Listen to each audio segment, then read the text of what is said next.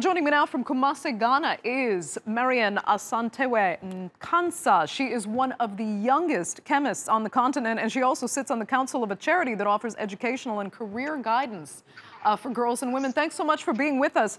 First, I want to get your take on why this massive gender disparity uh, in the fields of science and technology. What is not attracting women to the careers? Um, science requires a lot of attention. Thanks for having me. Hello to all the viewers and listeners. It's a, a field, or STEM fields require a lot of attention and meticulous um, consistency.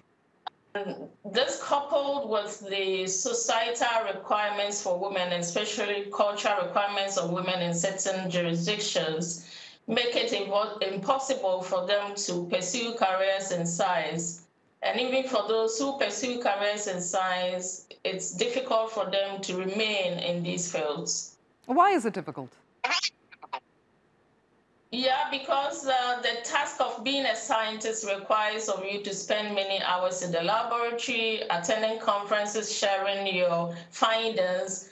And that coupled with the traditional roles of women, such as being the caregivers at home, taking care of the home, taking care of the children, right. being caregivers for elderly parents, and uh, so on and so forth. So, how Sometimes, are you trying to change that?